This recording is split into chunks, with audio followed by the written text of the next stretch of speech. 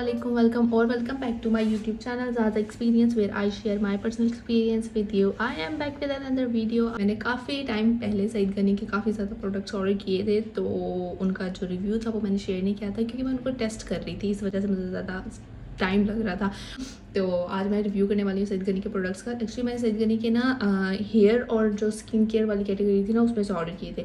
अब जो hair care range है, उसको मैंने अलग कर दिया है और जो स्किन और बॉडी केयर वाली है ना, उसको मैंने अलग कर दिया क्योंकि हेयर वाले जो उनसे प्रोडक्ट्स हैं, उनको मैं स्टिल मतलब अभी भी यूज़ कर रही हूँ और अभी भी उनको टेस्ट कर रही हूँ। तो एक वो मैं सेपरेट वीडियो बना दूँगी और उसके अंदर जितने भी उनके हेयर शैम्पू हैं हेयर ऑयल्स हैं और उनके हेयर ग्रोथ पाउडर है, उसका रिव्यू कर दूँगी। सो तो वीडियो शुरू करते हैं। वीडियो शुरू करने से पहले मेरी आपसे रिक्वेस्ट है कि प्लीज़ मेरे चैनल को सब्सक्राइब कर दें।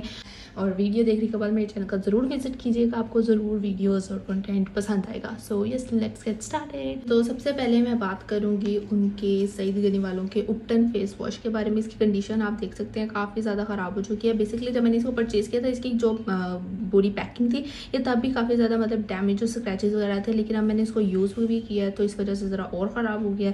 अच्छा तो ये इनका ना उपटन फेस वॉश है, जिसकी price I guess one eighty या वन सेवेंटी रुपीज़ है। और इसको मैंने डिस्काउंट पे परचेज़ किया था तो आप मुझे इसकी ज़रा एक्चुअल प्राइस नहीं पता। लिंक आपको डिस्क्रिप्शन में मिल जाएगा तो आपने अगर परचेज़ करना हुआ तो आप वहाँ से देख लीजिएगा। तो उपटन के बारे में जो मुझे पता था, वो ये पता था कि एक बहुत मतलब अच्छा मॉइस्चराइजिंग इंग्रेडिएंट होता है आपकी स्किन के लिए।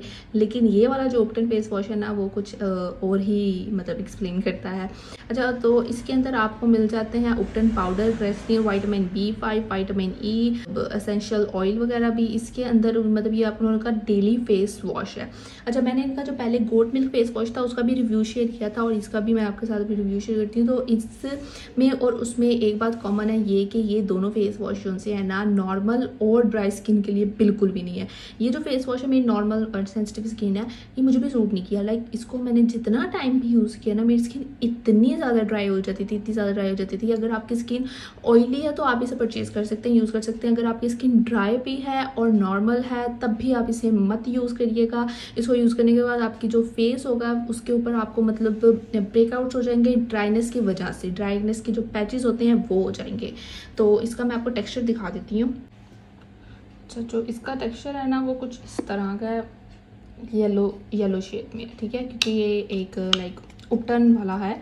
तो इसलिए ये ना येलो शेड के अंदर है। अच्छा जैसे वो गोल्ड मिल्क वाला है ना उसको यूज़ करने के बाद आपको ऐसा फील होता होगा कि आपका जो आ, मतलब फेस है ना उसके ऊपर एक स्लाइमिंग सा इफ़ेक्ट रह जाता है पर इसके बाद आपको ऐसा फील नहीं होता कि आपके फेस पर एक स्लाइमिंग सा इफ़ेक्ट रह गया है। ये अच्छे से मतलब वॉश हो जाता है।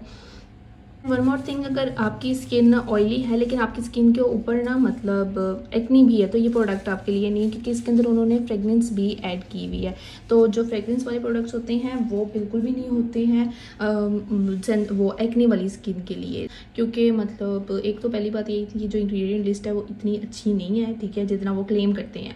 अच्छा तो ये आपका जो कलर होता है, उसको लाइट वगैरह नहीं करता है। स्किन जो सी होती है, आपकी कोई अच्छे से नहीं निखार शिकार के ले आता इवन तो इसको यूज़ करने के बाद मेरी मेरे फेस पे जो उनसे देना ब्रेकआउट्स होने लग गए ड्राइनेस की वजह से।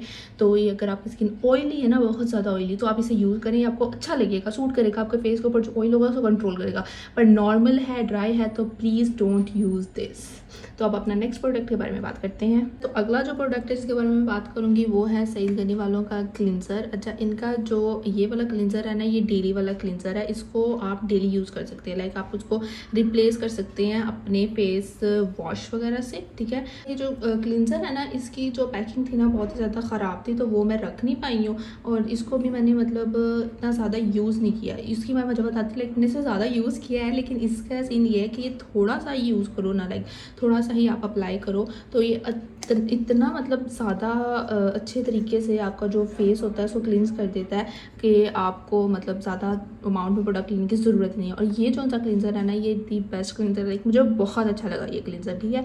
और ये ना ऑयली स्किन है नॉर्मल स्किन है ड्राई स्किन है ये सबको सूट करेगा। अच्छा कुछ ये इस तरह का है वाइट कलर का ये क्लिनजर है और इसमें सेंट भी है आ, मतलब फ्रेगरेंस भी है परफ्यूम भी है इसके अंदर। तो हाँ अगर आपकी स्किन पे एक्नी है so you can't use this क्योंकि मैं आपको पहले भी बता चुकी हूँ एक्नी वाली जो स्किन है वो फ्रेगरेंस वाले प्रोडक्ट्स यूज़ ना करें तो बेहतर होता है। प्रोडक्ट जो सा है वो क्लेम करता है कि एक वाइटनिंग क्लिनजर है तो ये वाइटनिंग क्लिनजर नहीं है this is just like ordinary cleanser जो आपके फेस को अच्छे से क्लिनज कर देगा। इसकी पैकिंग थी वो आई गेस मैं फेंक चुकी हूँ और इसकी जो पूरी मतलब ये प्लास्टिक वाली जो बॉक्स है, इसके ऊपर कहीं पे भी कुछ इंग्रेडिएंट नहीं लिखा हुआ एक्सपायरी डेट नहीं लिखी हुई, कुछ भी नहीं लिखा हुआ।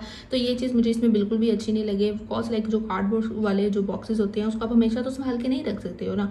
एंड अगर आपने एक प्रोडक्ट बनाया है तो उसके बेहतर है कि इसकी जो प्रोडक्ट है और ओरिजिनल मतलब जो बेसिक प्रोडक्ट है उसके ऊपर आप आ, कुछ जो इंग्रेडिएंट है वो लिखें एक्सपायरी डेट लिखें और यूज़ करने का तरीका लिखें। खैर इसको वैसे यूज़ करते हैं आम क्लिनजर आप यूज़ करते हैं। और थिंक अबाउट दिस क्लिनजर के अगर आप वो हैं जो कि क्लिनजर यूज़ करते हैं अपना मेकअप वगैरह रिमूव करने के लिए तो this cleanser is not like that कि आप इसको यूज़ कर लें अपना मेकअप रिमूव करने के लिए। आप डबल क्लिनजिंग मेथड यूज़ कर सकते हैं लाइक आप पहले माइसलर वाटर यूज़ कर सकते हैं फिर उसके बाद एक क्लिनजर यूज़ कर सकते हैं तो हाँ ये आपके फेस के ऊपर से जो मेकअप वगैरह होगा उसको रिमूव कर देगा। बट अगर आप सिर्फ़ क्लिनजर यूज़ करेंगे और आपने मतलब फुल कवरेज वाली फाउंडेशन वगैरह अप्लाई की हुई है तो ये वो वाला क्लिनजर नहीं है जो आपका मेकअप अच्छे से रिमूव कर दे। But I love this cleanser मतलब इसके यूज़ करने के बाद आपके फेस पर कोई ऑयल नहीं आता, आपकी स्किन इतनी ज़्यादा सॉफ्ट हो जाती है और बिल्कुल साफ़ हो जाती है, ठीक है? आपका जो एक्चुअल कलर होता है ना, वो ही नज़र आता है, ना वो ज़्यादा वाइट कर देता है, ना डल कर देता है और ऑयल भी मतलब नहीं लेके आता और स्किन को ड्राई भी नहीं करता। तो this cleanser is for every skin but लेकिन जो एक्नी वाली है वो नहीं हो सकती है। तो ये सब बढ़ते हैं अपने नेक्स्ट प्रोडक्ट की तरफ़। नेक्स्ट प्रोडक्ट है हमारा ग्रीन क्ले मास्क इनका एक चारकोल मास्क भी है। मैंने सोचा था मैं वो भी ट्राई करूँगी, पर जब मैं इसको परचेज वगैरह कर रही थी सईद गनी के प्रोडक्ट तो वो आउट ऑफ़ स्टॉक था। वैसे मुझे बेसिकली क्ले मास्क लगाना ना बहुत पसंद है। लाइक काफ़ी अच्छी वाइब आती है क्ले मास्क लगाने से। और पता नहीं मैंने ये बोला है, पर हाँ मैंने बोल दिया। अच्छा तो एक जो क्ले मास्क है ना, ये आपको क्लींस भी करता है और आपकी जो स्किन है, उसको रिफ्रेश भी बनाता है। और आपकी स्किन के अंदर जो रेडनेस होती है, उसको खत्म करता है टाइट करता है आपके पोर्ट्स को। और हाँ मतलब ये कोई वाइटनिंग वाला क्लिनजर नहीं है। अब मैं आपको दिखा दूँ ये अंदर से प्रोडक्ट जो है वो दिखता किस तरह का है। ये आपको ना लाइक 85 ग्राम मिल जाता है फाइव फिफ्टी रुपीज़ में। हाँ अच्छा था मैं इसको परचेज किया था तो मैंने इसको इंस्टेंट तो यूज़ नहीं किया था। इसके बारे में मैंने अपनी इंस्टा पे एक स्टोरी भी शेयर की थी, जिसके अंदर मैंने बताया था लाइक सईद गमी गमी सईद गमी नहीं मतलब सईद गनी वालों के स्कैम के बारे में। सॉरी जो प्रोडक्ट है ना मतलब ये आपको यहाँ पे लग रहा होगा कि ये पूरा मतलब ऐसे फुल हुआ हुआ है, ठीक है? जब मैंने इसको ये अनबॉक्स किया ना तो अनपैक किया तो ये एक तरह से बिल्कुल लिटरली इस तरह ही एम्प्टी था। तो मैं इसको काफ़ी ज़्यादा यूज़ कर चुकी हूँ। और इसकी ये जो चीज़ थी ना, ये हाफ़ पूरी इतनी जो हाफ़ है ना, ये सारी ना मतलब इसके ऊपर क्ले मास्क लगा हुआ था। पर जो अंदर से ये एरिया है ना सारा, ये एम्प्टी था और एक साइड पर ही सिर्फ़ मास्क था। तो आई वॉज़ लाइक कि जब मैंने इसको ओपन किया तब मुझे ऐसे मतलब इसको मैंने जब देखा था तो मुझे लगा था, यार, ये फुल है। लेकिन जब इसको अनबॉक्स किया अनपैक किया ओपन किया तो ये हाफ़ एम्प्टी था।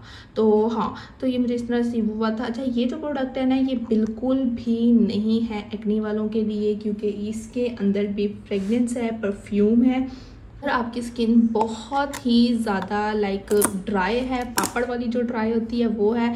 तो ये प्रोडक्ट आपके लिए भी नहीं है। क्योंकि ये आपके जो फेस है, उसके अंदर ऊपर से सारा ऑयल सॉक कर लेता है। अगर आपकी स्किन ऑयली है तो गिव इट ट्राई दिस लेकिन अगर आपकी स्किन ड्राई है, बहुत ज़्यादा तो आप इसे यूज़ नहीं कर सकते। हाँ नॉर्मल टू ड्राई है तो यूज़ कर सकते हैं। नॉर्मल है तो भी यूज़ कर सकते हैं। ऑयली या बहुत ज़्यादा ऑयली है तो तो मस्ट इसे यूज़ करें ना। बहुत अच्छा क्ले मास्क है। मुझे ये क्ले मास्क भी अच्छा लगा as compare compare to other products of Saeed Ghani तो हाँ लाइक प्राइस के लिहाज से भी ठीक ही है अच्छा खासा प्रोडक्ट है और बहुत थोड़ी अमाउंट में लगता है और आपका पूरा फेस अच्छे से कवर कर देता है। तो ये सब पढ़ते हैं अपने नेक्स्ट प्रोडक्ट की तरफ़। अब हम बात करेंगे सईद गनी वालों के मॉइस्चराइजर के बारे में, जो है कि मॉइस्चराइजर क्रीम जिसके अंदर आपको glycerin aloe vera and vitamin E भी मिल जाता है। ये फेस बॉडी और हैंड्स वाली क्रीम है और ये भी आई गेस फाइव फिफ्टी और sorry I guess three thirty rupees में थी थ्री फिफ्टी में थी। अच्छा इसकी प्राइस याद नहीं है प्रोडक्ट का लिंक आपको डिस्क्रिप्शन में मिल जाएगा। तो इसकी जो पैकिंग की थी, वो मैंने संभाल के रखी थी, क्योंकि एक लिटिल लाइक बॉक्स की शेप में था। अब ये वाला जो था ये बॉक्स में नहीं था।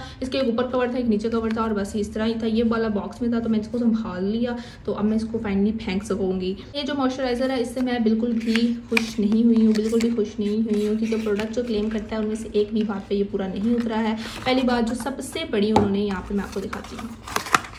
यहाँ पे जो उन्होंने सबसे बड़ी ऊपर लिखी हुई है, ये एक नॉन ग्रीसी फार्मूला नहीं, ये बिल्कुल भी नॉन ग्रीसी फार्मूला नहीं है। अगर आपकी स्किन ऑयली है तो आप इसको बिल्कुल भी ना यूज़ करें। नॉर्मल टू ऑयली है तो भी इसको ना यूज़ करें। नॉर्मल है तो यूज़ कर लें। ड्राई है, या बहुत ज़्यादा ड्राई है तो आप इसको यूज़ कर सकते हैं। अब पैकिंग के लिहाज से मुझे काफ़ी ज़्यादा क्यूट लगा लाइक कलर कॉम्बिनेशन जो इसका था, वो अच्छा था। लेकिन हाँ ये जो मॉइस्चराइजर है, वो अपने क्लेम की हुई बातों पर बिल्कुल भी नहीं उतरता। And one more thing about this product is कि जब आप इसको अप्लाई करते हैं तो आपका जो कलर है, वो एक टाइनिंग सा जो इफ़ेक्ट आ जाता है ना टैनिंग वाला मतलब आपकी जो शेड होती है वो डल हो जाती है। तो हाँ ये इसको यूज़ करने के बाद आपको इस तरह भी फील होता है। बिल्कुल भी रिफ्रेशिंग वाला फील तो नहीं होता जिस तरह इन्होंने यहाँ पे एक्वा वाला बनाया हुआ है। अच्छा मन मानते हैं कि इसके अंदर फ्रेगनेंस भी है तो this product is also not for acne skin करते हैं आज की वीडियो के लास्ट प्रोडक्ट के बारे में और जो कि है जी इनकी फुट एंड हैंड क्रीम या आपको फेस या पे अप्लाई नहीं कर सकते, या आप बॉडी पे कर सकते हैं और अपने हाथों पाँव पे कर सकते हैं। इसको मैंने बेसिकली बहुत ज़्यादा यूज़ किया है। हाथ पे तो नहीं इतना ज़्यादा यूज़ किया, पर हाँ लाइक बॉडी पे मैंने ज़्यादा यूज़ किया है। अच्छा ये जो क्रीम है, ये आपको ये भी आपको फोर या फाइव के अराउंड मिलती है। इसकी भी पैकिंग ऐसी थी जैसे इस क्लिनजर की पैकिंग थी। तो ये जो है ना, ये आपको जो मिक्स फ्रूट वाली जो क्रीम है ना, ये वो मिलती है। मैं इस क्रीम क्रीम की जो बात है, मुझे बिल्कुल भी अच्छी नहीं लगी। इसको अप्लाई करने के बाद ना आपके हाथों पर ना स्वेटिंग फील हो जाती है।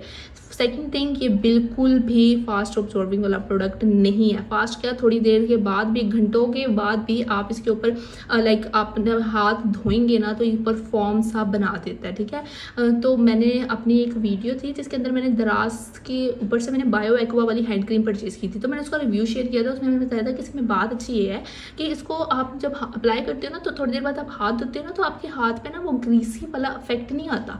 लेकिन ये जो सी है ना, ये आपके हाथों पे अब्जॉर्ब नहीं होती है, इसको आप पानी के साथ थोड़ी देर या घंटों के बाद भी वॉश करेंगे तो ये बिल्कुल ऐसे जैसे कोई आपने सॉप अप्लाई करती है, ठीक है?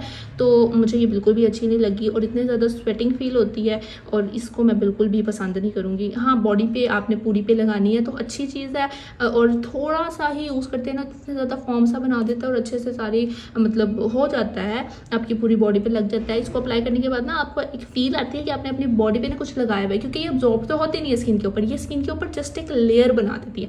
अब्जॉर्ब नहीं होती है स्किन के अंदर। तो बॉडी के ऊपर लगानी है तो ठीक है, हाथ पाँव के अंदर आप डेली बेसिस पे क्रीम ढूंढ रहे हैं हैंड क्रीम लगाने के लिए तो ये बिल्कुल भी वो वाली नहीं है जिसको आप परचेज करें। गर्मियों में तो बिल्कुल भी नहीं, क्योंकि स्वेटिंग इतनी ज़्यादा आ जाती है ना, मुझे ये बिल्कुल भी नहीं अच्छी लगी।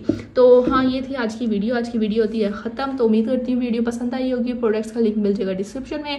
चैनल को करते हैं सब्सक्राइब वीडियो को करते हैं लाइक शेयर करते हैं अपने फ्रेंड्स के साथ। तो मिलती हूँ बहुत जल्द आपको अपनी अगली वीडियो के साथ तब तक मेरी तरफ़ से अल्लाह हाफिज़। अपना बहुत ज़्यादा ख्याल रखिएगा।